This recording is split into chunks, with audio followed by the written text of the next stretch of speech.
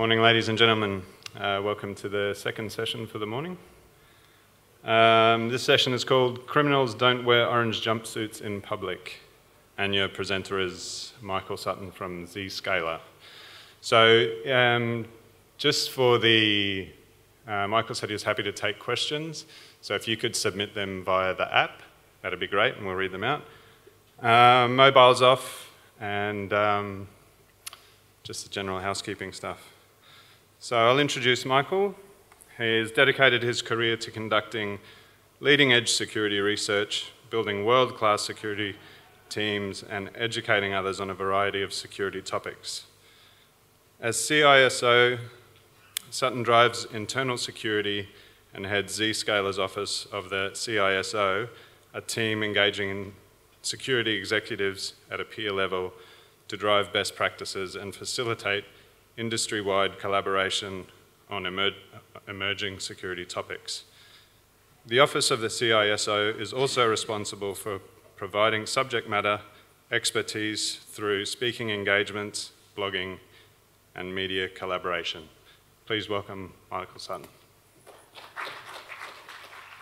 Great. Thank you very much. Hopefully everyone can hear me all right. So uh, just a couple of housekeeping things.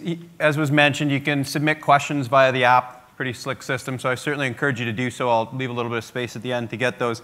It's a little bit buried in there. If it's not clear, if you go in the program, go under concurrent one, it's under the sponsor tab. That's where you'll see this talk. You'll see a beautiful picture of me, so it's easy to see. And then go into that interactive session, and that's how you get into the questions. So if you put in questions during the talk, something pops up, then we'll try to hit them at the end. Um, you may also have seen uh, there's a piece of paper, little survey in, in front of you there um, as a carrot to encourage you to fill that out. What we're going to do is at the end of this, we're going to draw for a really cool Parrot AR drone. If you've seen those, they're fantastic. You can harass your neighbors with those. Um, and so we'll do the drawing at the very end of this talk. And then also, if you fill this out, we'll put this in the, the bin and we'll draw for people to do our Smash booth. If you haven't seen the Zscaler uh, booth. It's at the very, very end. Just keep going straight until you can't go anymore. And we have a smash booth, and you get to take out your frustrations on an appliance, beat it up with a sledgehammer. It's fantastic for stress relief, so I encourage you to do that. So if you're not familiar, or uh, if you're curious about the title, I'll get to that in a second. Does anyone watch Orange is the New Black? It's an awesome show, totally awesome show. Um, I'll get to the title, but you know, just imagine if there was a criminal in this room and they had to sit there in their, in their prison jumpsuit, be pretty easy to identify that person. Um, they mentioned my background. Uh, so I'm the CISO for Zscaler. If you're not familiar with Zscaler, we'll save a couple slides at the end to tell you about it. But the bulk of this presentation, I'll be talking about threats and statistics that we see going through our cloud. So we maintain this global cloud. We do end user security via that cloud. So that's how I'm gathering all of the information that we'll be talking about today. Uh, but so I'm the CISO at Zscaler, so in, in, in addition to having to protect our network, uh, I also run the office of the CISO, get to go out and speak to a lot of the C-level executives at the customers that we deal with, understanding their threats, their concerns. So it's a bit unique being a CISO at a security company because you know, you're, you're expected to have this perfectly secure network, you're expected to know all this stuff about security, so it's sort of a double, double challenge there. So back to that title criminals wearing orange jumpsuits in public. So anyone recognize these characters? First one Uzo Aduba, plays the character. Anyone know the name of that character? You can shout it out. Crazy Eyes, exactly. And she plays an awesome character. I would be very scared to be in a prison cell with this lady. Um, the other one, John Malkovich, anyone know that character? It's from Con Air. Cyrus the Virus, exactly, kind of an applicable name for this conference. Uh, so, you know, if I saw either one of those individuals walking down the street, well, I would definitely know they're a criminal based on the way they're dressed and the way they look. That's not how they really look. You know, like look at Uzo Aduba. She's beautiful. That's quite a transition. Um, and John looks uh, pretty dapper as well. So, you know, this is, we can't look for the bad stuff by expecting it to look like the bad stuff. And there are a lot of challenges in that. It's not just that the attackers are creating next gen malware and they're constantly moving to a new level. there are real challenges for, as an enterprise, of being able to literally even have the opportunity to inspect that in the first place, much less actually recognize it as malicious when we do finally see it. And I'll talk about why some of those challenges are. But that's what I mean when I say criminals don't wear orange jumpsuits in public. You know, this is the way that we do security historically. We, we know what to look for. They say, okay, this is a virus. Here's a signature. This is exactly what you need to look for. Now go see if this next binary matches that. Well, that's the wanted poster, right? And if we had a wanted poster for every criminal out there, um, it would be pretty easy, right? We could match them up. We could even you know, use cool technologies to do that. But that's not what we're dealing with. This is what we're dealing with. We're saying there's a crowd of thousands of people. 99.9% of them are perfectly good, but mixed in there is someone bad. And by the way, that bad person looks exactly like the 999 good people. Good luck, go find them, right? That's what security is today. And we need to change our approach because most of the technologies that we use today are based on that model of we know exactly what to look for, and we have the opportunity to look at 100% of the traffic and the data, and we're going to find everything. Well, that's an approach that's simply not going to work.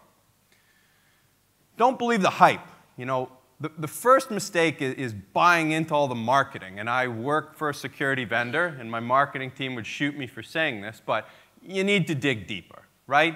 You know, this list, I actually made this when I was walking around the, the showroom floor at the RSA conference that's held out in California every spring. And, you know, I was just jotting down all the, you know, the buzzword bingo, as it were. And then I'd actually go talk to the company and I'd say, okay, you know, you, you say you've got this hybrid cloud or whatever, you know, explain to me what that is. And, you know, honestly, hey, these are just terms, right? Like, like hybrid cloud, what does that mean? Well, that means what? Hey, we took the same boxes that we used to sell to you and we stuck them in our data center, right? Still the same technology. Um, you know, next generation, well, that's our summer release, right? That's just the next thing that's coming out. Big data, well, what's the difference between big data and small data? Where do we cross that line? And, and if I don't have a way to actually make sense of it, it's just a big pile of data that actually makes my job even harder. It doesn't add any value. And then, you know, the worst buzzword of all is APT, Advanced Persistent Threat. Like, marketing teams have beat that to death. It's pretty much a meaningless term at this point. So, you know, what I encourage you to do is, you know, go beyond this, right? And the analysts are okay, right? The Gartners, the Forresters of the world. You know, you can get some nice, concise information in a particular uh, grouping of technologies. That's a good place to start. But go even further than that. I think the best source that you have is your peers. You know, they're dealing with some of the same challenges that you are. And don't just go to the friendly ones. You know, go to your competitors because you're in charge of security at your company. They're very likely to want to be able to collaborate with you, even though at a corporate level you may compete. Um, that's really where you're going to get the best sense of, hey, what's working, what's not, what, what are some of the challenges that you face. So getting into some of the data, um, you know, the beauty of we have this big cloud, we have 5,000 companies and 15 million end users that come through our cloud. So we get a really good view of what people are actually doing on the internet, what the attackers are doing to go after those individuals, how those threats are evolving. And as a security guy, it's really fascinating to be able to look at that. So whenever I have the ability to do so, I like to dig into that data and I like to understand the threats. So um, what I was doing here I ultimately ended up with a different result than I'd expected. So what I wanted to do here is I, I said, you know, we know we've got lots of Android malware, typically comes from third-party app stores and targets Android devices. I said, I want to see where that's coming from. So I wanted to find the top, you know, X number of sites that were delivering malicious Android APKs. And what I thought I would see is just a bunch of uh, third-party app stores, mostly in Asia, because that's where we tend to see them in, in Asian countries, especially in China. Uh, but what I was fascinated by when I pulled the data is that yes, that's what it was. Ultimately, these were third-party app stores, but they were sitting on CDN networks, and totally legitimate, respected CDN networks, you know, companies like Limelight, Amazon, et cetera. This tells me that, you know, back to that statement of, hey, we, we don't always know what to look for. Well, this is why things like URL filtering are completely useless today, right? Because the content is delivered from dynamic URLs, delivered up by CDNs. Those CDNs are perfectly legitimate. I mean, yes, there might be a malicious domain on Amazon CloudFront. I'm not going to block the entire Amazon CDN or Akamai or any CDN as a result of that. I can't. That's not realistic. You know, that's throwing the baby out with the bathwater, right? So we can't just say, oh, this came from a bad source. Because it doesn't come from a bad source anymore. The, the bad guys use the same infrastructure that we use, and they use it for the same reasons, right? It, it's very low cost, it's very efficient, I don't have to maintain my own infrastructure. It's fantastic. And they get the added benefit of those sites having a positive reputation. So, another important topic, and this is a, a, discussion that every company should be having, is, is encryption versus privacy. And we're seeing this in the public realm, um, and it's great to actually see that it's getting the attention that it deserves. But this is a really important enterprise driven topic because encryption is a double edged sword for enterprise security. I mean, encryption is fantastic, it is the best way to ensure the privacy of your data. But as with any tool, it can be used for good and it can be used for bad. So the bad guys recognize this, and encryption can actually benefit them as well. So you need to be able to strike that balance. And let me dig into the, some of the statistics. So one of the pieces of functionality that we provide is we'll, we'll let our customers not allow in files um, that are unscannable. So this would be like I have a file that I use like PGP to encrypt or something like that. And 25% of our customers do that or you know, a password protected zip file, same idea, right? And so when I talk to the customers, I say, I say, why don't you block those kind of files? And they say, well, you know, because we use those for business purposes, right? I've got a, I don't know, some analyst and he wants to send something sensitive to somebody else, so he has to be able to do that. And so again, this is a great example. Like from a privacy perspective, that's good because I'm protecting that end user. But the bad guys can take advantage of that too, right? We certainly see attacks where an attacker creates a, puts a piece of malware in a password protected zip, sends it to an end user in your organization, then he separately sends the password, you know, spoofs where it's coming from. Guy thinks it's from his boss. Hey, open up this file. Here's the password. Open it up, decrypt it. And now he's just bypassed all of your security. So we need to strike a balance, right? We want to have that encryption, but we want to make sure that the bad guys can't use that, right? So you shouldn't be allowing those types of files from you know, untrusted sources into your network. And fortunately, there's lots of options. Like if you need that ability, well, you can have like a corporate Dropbox or something where files are properly encrypted and transported, yet you still have the ability to inspect that for malware. Um, so you don't want to be blind to it. You don't want to leave that just in the hands of the end user. This, to me, is just a fascinating statistic, and I'll dig into this a little bit deeper. We now, so again, you know, 15 million end users coming from our, through our cloud, so we have a good view of what, what's really the status of the internet. 43% of the web traffic that we are seeing is SSL encrypted. And that number has grown dramatically. And it is thanks to the Snowden revelations that that has happened. I mean, subsequent to that, over the past couple of years, internet properties have raced to go to SSL by default. Three, four years ago, SSL was really reserved for those login pages. I'm going to protect your password. Now it's everything by default. You know, you go to any Google property, Facebook, Yahoo, Amazon, every page that you go to will be SSL by default. That is great for privacy. But what happens when your user goes to a site that's SSL encrypted and by default that, that attack is being delivered over that same site? We just saw that the bad guys deliver their malware from the same resources as, as we do.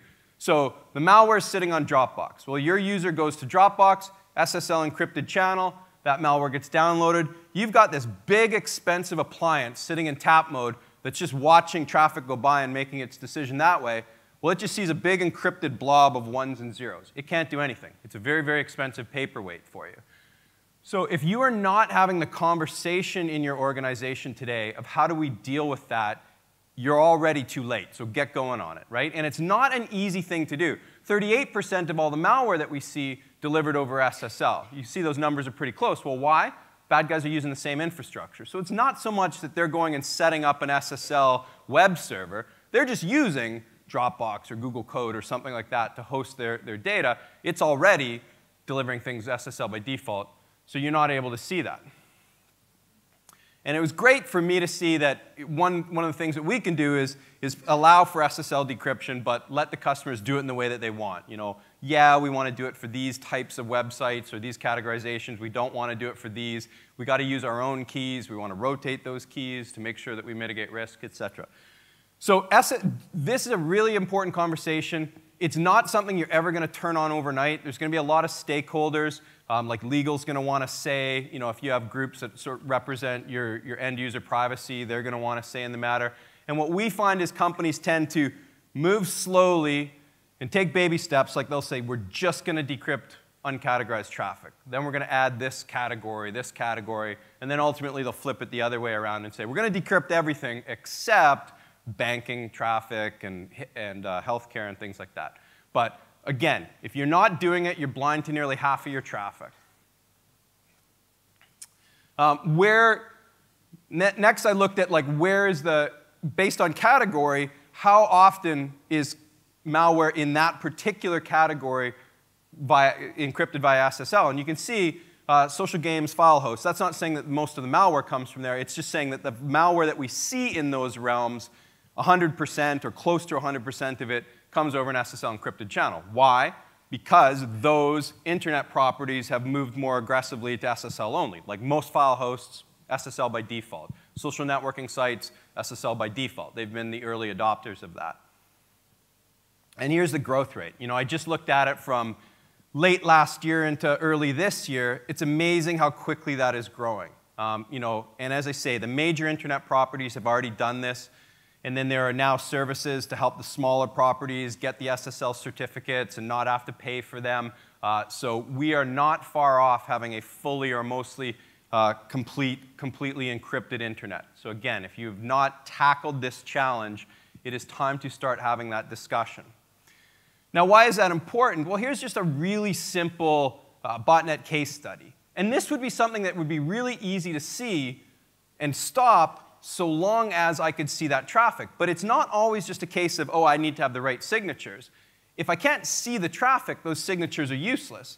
So if you're looking at, at the data here, so like stage one, all it's doing is making your machine go out to a website that lets them see your IP address. They just want to see where you are in the world.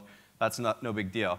But then stage two, three, four, that is command and control traffic, where the machine's been infected, it's now calling out to the mothership and saying, okay, what should I do now? Or it's giving information about itself. If you look at the very bottom of that screen, the beaconing, what that infected machine is sending out, is in a very predictable format. It would be very easy to write a signature for that, simple regex. You could identify this and block this every time. But if all that communication is over SSL, and it is, you can see that in the data, you're blind to it, right? So you must have a way to be able to look into that traffic and do it in a secure way that still maintains the privacy in a means that you're comfortable with. Encryption obviously has a, a, more public face, and we're seeing a lot more of it. And if you saw Christopher's keynote, he gave some really great detail on, on the public debate here.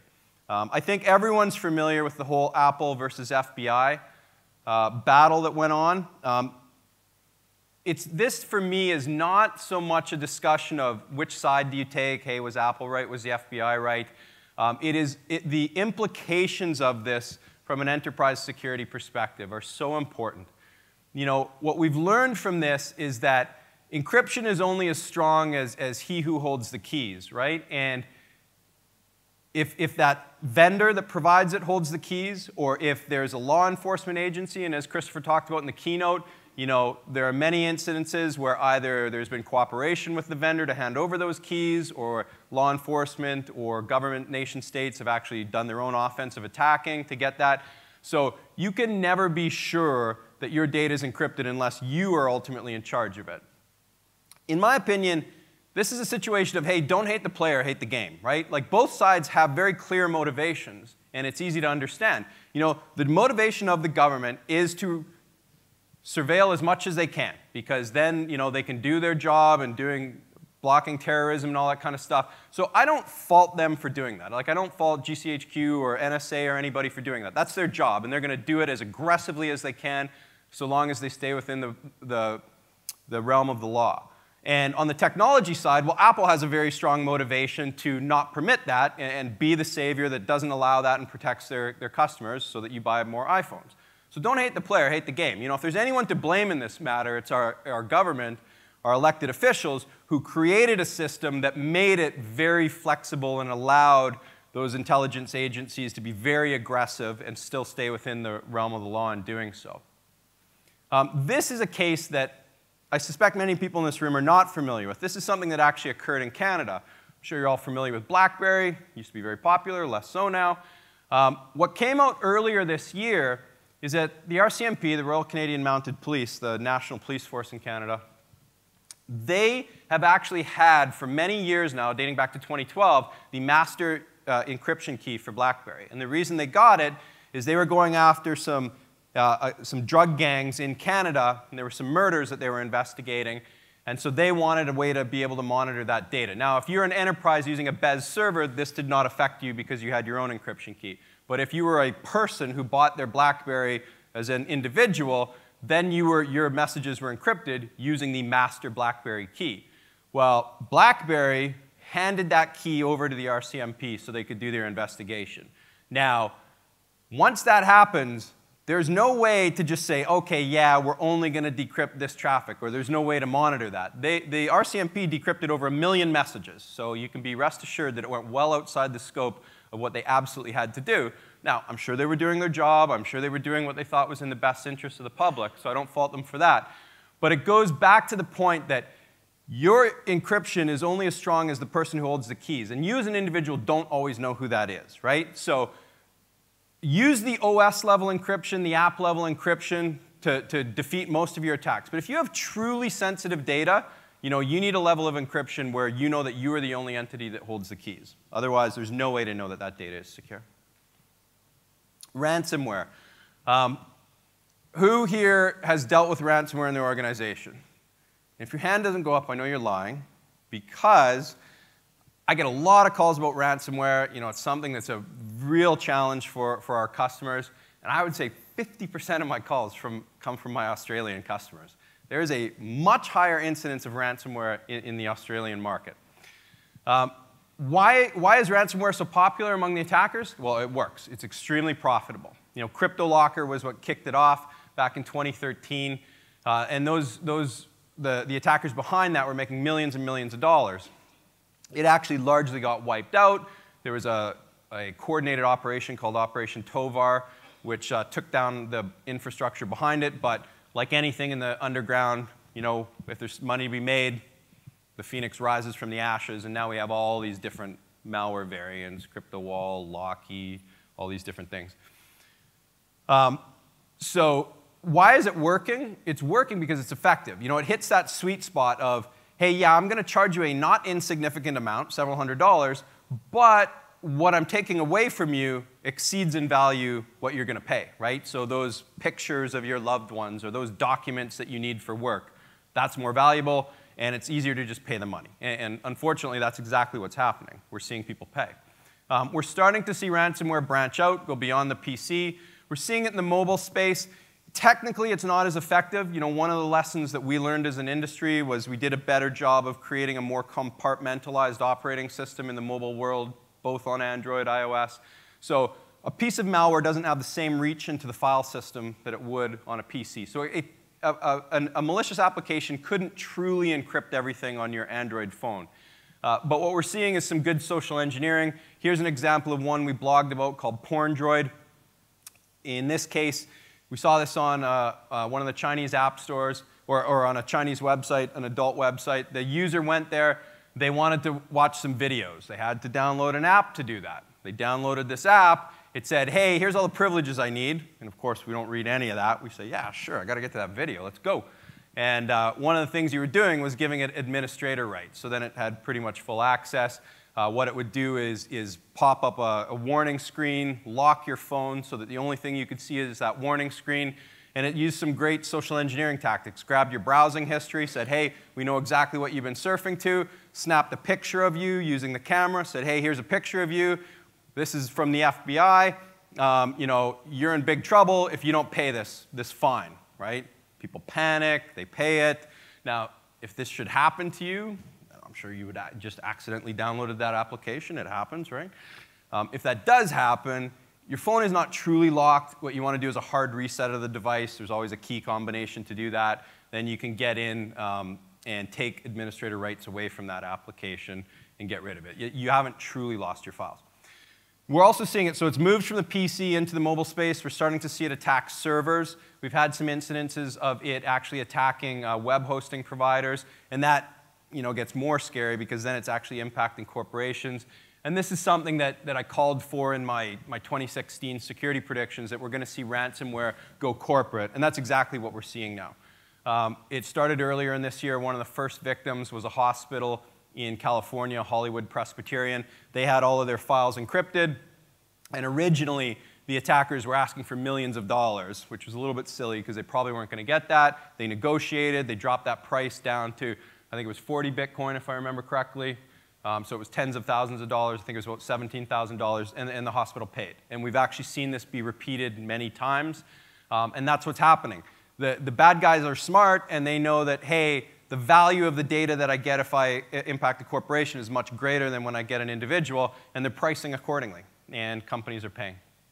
Now, you want to defend against this? Sandboxing is a great way to do it. I'll mention that in a second. But back up your data. You know, if you properly had your data backed up, this would be a non-issue because it would be less costly to spend a few hours restoring your backups than it would be to go figure out how to pay in Bitcoin. Sandboxing, I think, is a very necessary layer of security right now. Um, you know, this is where we're not doing something signature-based. We're taking that binary, we're dumping it in a controlled environment, letting it execute, and we're watching the behaviors. And this is our best way of finding the, the new threats, things that signatures would never catch. But malware is very smart. Like what you're seeing here is the different techniques that we see being used by malware. And so this is common. Like you can see some of the longer ones like at the bottom, like malware that has long sleep cycles, so it doesn't do the bad stuff right, right away. Or it's looking to see what software is installed. So it's looking to see what antivirus or security protections you have, and then it will behave differently. And this is not exotic stuff. This is in the most basic malware that we see today. Even like adware, spyware, we see these behaviors. So when you're looking at sandboxing technologies, you need to make sure that they're capable of tackling these types of threats. Here's just a simple example of some fairly basic malware. Um, this was a, both a banking Trojan and it had a backdoor. You can see on the right-hand side it gets installed into your machine. Then what does it start doing? It starts going through your registry keys. And if it sees various registry keys, it knows that, oh, hey, I'm running in a VMware instance, or I'm running in this particular virtual environment. I might be in a sandbox, so I'm, I'm not going to show the malicious behaviors. Or it'll look for certain functions. It'll look for the existence of strings. So it's not hard to do. And so you need to make sure that whatever technology you're using um, is smart enough to combat these things. Trusted partner attacks, this is another thing that we're seeing the bad guys start to do. Um, makes a lot of sense. They're realizing that, hey, I want to go after company XYZ. They have pretty good security. So I'm not going to go after them. I'm going to go after some service provider or some entity that they've contracted out to that has lesser security. And bonus, if I get in there, well, they have other customers. So now I can get into all of them. Um, this is what we saw with the Target breach in the United States, big retail chain. This is what we saw with the Office of Personnel and Management that was likely a Chinese nation state attack against the US. They both targeted um, third parties that were doing contracting work for those companies. So very important for you to make sure that it's not just your security. Any vendor that you contract out to, if they have privileged access to your data or your network, they need equal or greater level of security. What are we seeing on, on the, the mobile side? Um, most, 99% of what we see is Android malware, and it's almost all in third-party app stores. So the number one thing I'd recommend is just do not allow your users who have Android phones to be taking things from other than the official app stores. You know, Google actually does a very good job of weeding out malware, uh, but much of what we see coming from third-party app stores is malicious. Here's an example of a fake uh, Alipay app, so a Chinese payment system. You know, you install this, you give it administrator rights. It this is a very typical scenario. It pops up, it crashes. You think, oh, it didn't download properly. Well, what it did is when it popped up and crashed, it downloaded a bunch of services in the background, and now it's monitoring all of your SS SMS messages, and it's probably going to do some kind of SMS fraud where it intercepts your messages and it's able to make money by doing that. I think we're going to see a lot more um, attacks related to extortion. Now, here's three cases where that wasn't actually the case, like Sony Pictures, I think everyone's familiar with. Ashley Madison, this was the uh, questionable dating site in the United States where it targeted only uh, married men and ladies. Um, and Hacking Team, if you saw Christopher's talk keynote, he mentioned that, an, an Italian company that did offensive um, attack, uh, built offensive attack tools. In all these cases, um, third parties you know, either took offense to the business model or there may have been a nation state sponsored angle in the Sony breach. But in all cases, relatively small groups created incredible havoc for these entities, right? And they weren't particularly sophisticated attacks, despite what you might have read in the media. This was really just spear phishing, targeting individuals, getting passwords, getting in that way. Uh, but if small groups can do that much damage, you can be rest assured that the attackers are saying, hey, if I could get in and get the level of access that the attackers had in the Sony breach, but rather than just putting it all on Pastebin, I actually extort them. Um, you know, there's millions of dollars to be made. And that's the kind of stuff that's not going to be seen in the, in the headlines. Um, one of the interesting things that came out of Hacking Team, so they um, built these offensive tools. You know, we don't normally think of, of attack tools or malware on the iOS side, but it can still be done. So here was a tool where they would make a really a, a, a Trojan app. So here they would make this custom app for their users and sell this to law enforcement or a government agency, and then they would go install this on someone's phone. So people don't often realize you can actually sideload apps into app iOS devices if you have what's called a developer certificate. As long as you're a legitimate company, Apple will give that to you. And the idea is for you to be able to install things not going through the App Store, so some internal app. So they would build that. Law enforcement would confiscate your device as you're coming in through the country. You know, say, hey, we got to inspect this. What they're doing is quickly installing an app It was an app that had no, uh, an invisible GIF, so you wouldn't see it. They stuck it in the newsstand. If you actually hovered over it, you'd see it. It's in their settings. But then they would give it the permissions that it would ask for. So yes, they would give it access to your contacts. They would give it access to your GPS, give it access to your calendar. And then it had a custom keyboard, so it could actually log your keystrokes. So you'd have this app installed. Unless you were really looking for it, you'd never see it. Now you have this great Trojan installed. We're seeing a, a shift from attackers going after debit credit card uh, breaches to going after PII or personally identifiable information. There's a few reasons for that. One, the United States is finally getting its act together, and we've gone to chip and pin, something you guys had the good sense to go to years ago. Um, we're a little bit slow on that one, so it's getting harder to do some of these debit and credit card breaches. But the big money is in PII. Like if I can get all the data on an individual and get your government ID numbers and things like that, um, then I can make a lot of money. So this sells for a lot more money in the underground. What can I do with that? Well, then I can start doing fraudulent medical claims, insurance claims, tax claims, and, and that's where we're seeing the attacks start to, to shift to. And you think about it, like if your credit card number gets stolen, as a uh, consumer, it's not that painful for you. Like you know, it's probably going to be identified, and even if you identify it, you report it to the bank, they're going to cover those costs, so you don't feel a lot of pain. They mail you a new card, you're done. And in these major breaches, you didn't have to do anything. They just mailed out millions of new cards.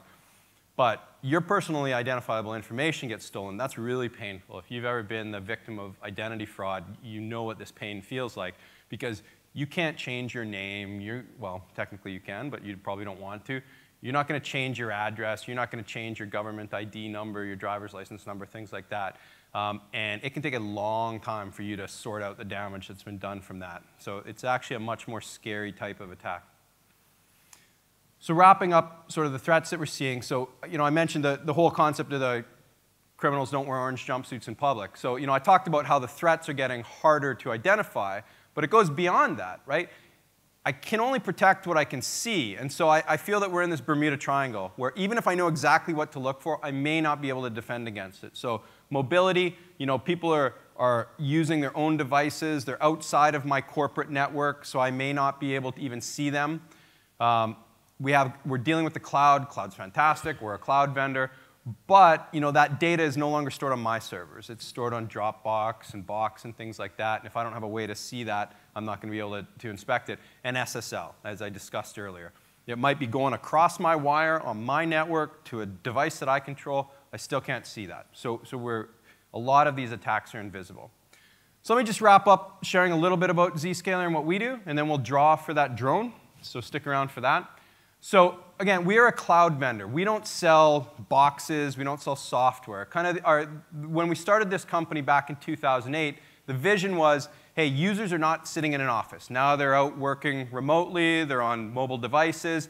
I can't just buy a bit or install a big appliance to inspect my traffic. It's not going to see everything. So our, our focus was, hey, we're not going to build that perimeter around the network because that's not possible. We're going to build that perimeter around the internet itself. So the idea is, rather than you having your user traffic go directly to, let's say, Facebook, it's hopping through our cloud. And our, when I say our cloud, it's just this global network of proxies all over the world, forward proxies, forward web proxies. So if you're in the office, probably going to be a tunnel from your office, GRE tunnel, IPsec VPN tunnel, so that anybody who's on that network, you know, as soon as they hop on, their traffic will ultimately go through a Zscaler node. It's transparent to them. They don't even realize, just it's another hop on the internet to them. But on the device itself, when they go to the coffee shop, that's still going through us, either because there's an agent on the device or they've made some kind of proxy setting on the device, and we don't care what that device is laptop, smartphone, tablet, operating system is unimportant. And then that way, you're setting all of your policy, getting all of your reporting, your visibility through this one online app. And you can get all that data out, import it into your SIEM system if you want to use that data. It's your data.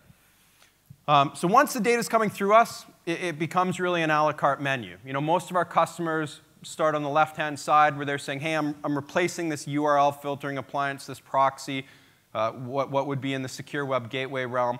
That's what I'm replacing. That's the budget I'm using. But once that data is coming through it, then they say, oh, okay, I want to take advantage of other features. Like, hey, I want to do DLP inspection because, hey, all my data is going through you, so you guys can do that.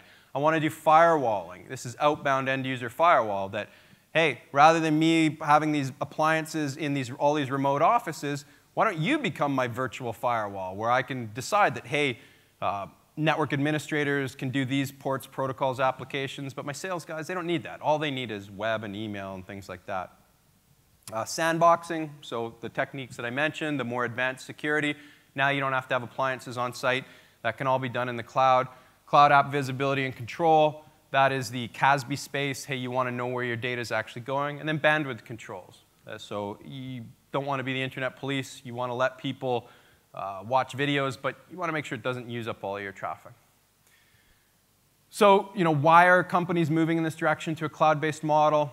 You know, the CISO just wants better security. And, and though all the gaps that we talked about, you know, this eliminates those because we get the visibility regardless of the device, regardless of the location. The CIO, CTO, they just want this to be simple. You know, most companies aren't in the business of computer security. That's just a necessary evil that we have. They don't want to rack and stack boxes and have huge security teams.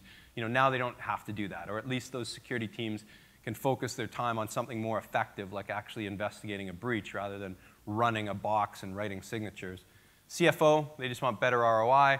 Now they can eliminate CapEx expenditures on all these devices that they own and maintain, shift it over to OpEx and get much uh, more effective use of that OpEx because, you know, they're leveraging our security team and we're in a much better position to be hiring the best and the brightest because they don't, you know, they're not security specialists. End user, they just want a great, great experience. This is very transparent. They don't, for the most part, even know that they're going through Zscaler. So before I uh, draw for that drone, let me just leave you with this thought. So consider three users in your organization, and I suspect you have these users. You got the guy who sits in the office nine to five all day. Well, he's the guy that your historical traditional security architecture was built for. Because that's okay. He's behind all these appliances. He's behind IDS, IPS, firewalls, antivirus. Great. He's well protected. That all feeds into a SIEM system. He's okay. But that same guy picks up his laptop and goes to the coffee shop. You know, now he's number two. Um, all of a sudden, all those appliances go away because now he's accessing Facebook or whatever. You may say, I don't care. Well, you do care when he goes to that site, his machine gets infected, and then he brings it back into the office. And so now you're relying purely on host-based security, which is probably just antivirus, and that's it. You have no visibility because that's not feeding the SIEM. And then you got the last guy who, you know, he's your CEO, he's got that, uh, he's got his iPhone, he's out at the airport. Well, now you have no visibility because there's nothing going to the SIEM, and you probably have no control over security because you can't do things like run antivirus in the background. So you have a very different level of security and visibility based on where the user is working that day and what device they're on. The beauty of the cloud is that it evens the playing field. In all three of those scenarios, we don't care. You know, same level of security, same level of visibility. With that, it's drone time, right? All right. All right, let's draw for a drone. Here, let me hold up the drone. Scott.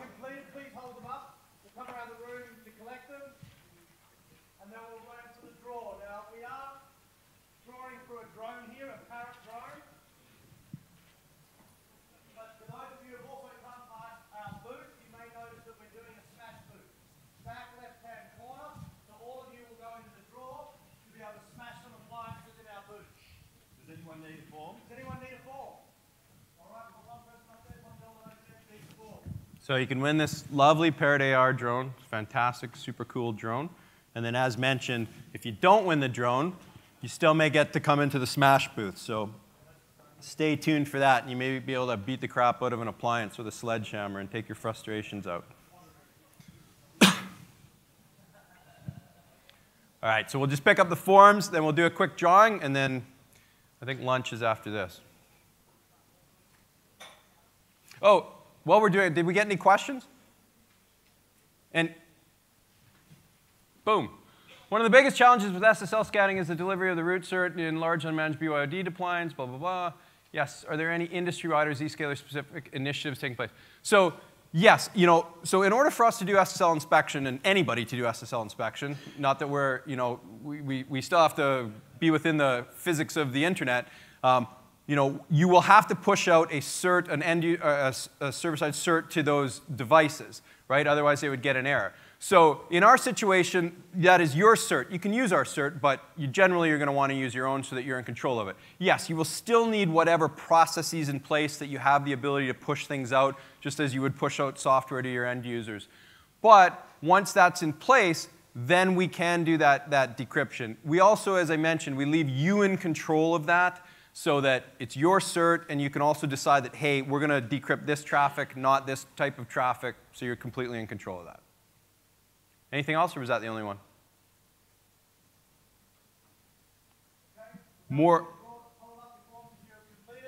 Let me just finish off this. So more info on the CASB roadmap. So yeah, so we, CASB, so that's, hey, giving you the visibility. We do all that. We also, though, partner, and I think that's really important. So with everything we do with that a la carte menu that I showed you, like, if you want to use us for that, that's great. But you may have say, oh, I already invested in a, you know, a SkyHigh or a CipherCloud or something like that. Well, we can actually help you get more value out of that because we partner with those vendors. They need data in order to produce that reporting.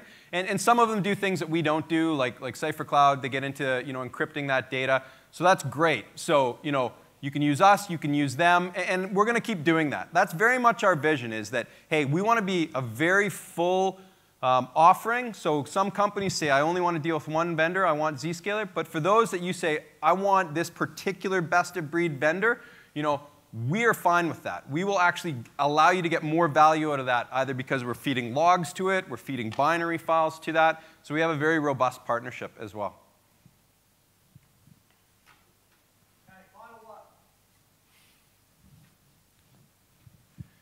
Is ransomware likely to start evading cloud soon?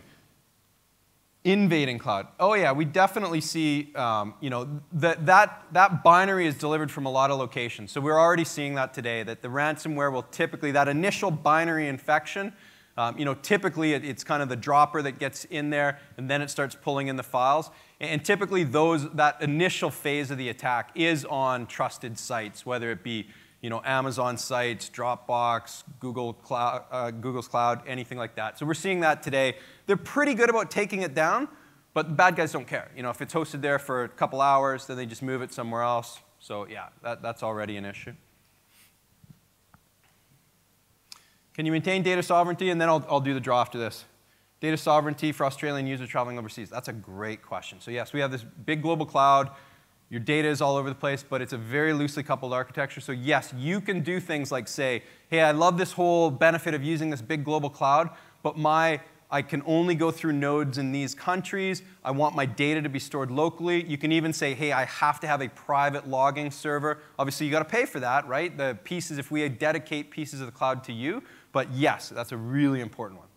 So, all right, let me do this draw. I'm going to be as uh, as unbiased as I possibly can. Here we go. And the winner is somebody did not put a name down. So, yes, if your name is one large slash through the name, you just won, except you didn't. I'll be holding you. Got one? Greg Toothville? Tootle? Tootle? All right, come on up. You're the proud winner of a drone. Congratulations. All right, thank you very much. It's such a lovely day. Just say thanks the words and we'll beat the birds down to Acapulco. Uh, ladies and gentlemen, can we please thank Michael again for his talk?